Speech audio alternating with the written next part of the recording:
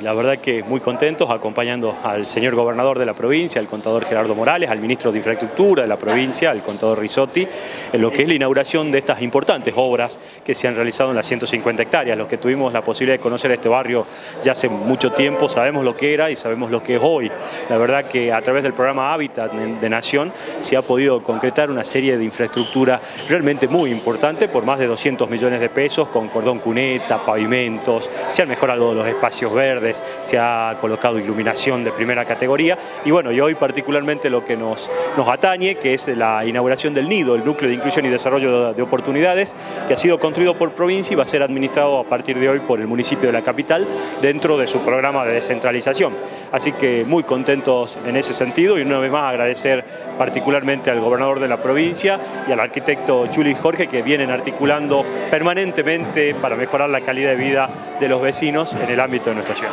Bueno, para la municipalidad, ¿cuál es la importancia del nido dentro de este sector? Bueno, el intendente municipal, el arquitecto Jorge, viene desarrollando una fuerte tarea en lo que es la descentralización del municipio. La idea de que la municipalidad esté en cada uno de los barrios, esté en los distintos sectores de la ciudad y para eso contamos con 11 CPB, contamos con 3 SIC y bueno, y este año vamos a incorporar lo que son los nidos, que son, como el nombre lo dice, núcleo de inclusión y desarrollo de oportunidades, espacios que el contenido lo dan los propios vecinos a través de talleres, de capacitaciones y por supuesto generando actividades para todo, para todo el sector.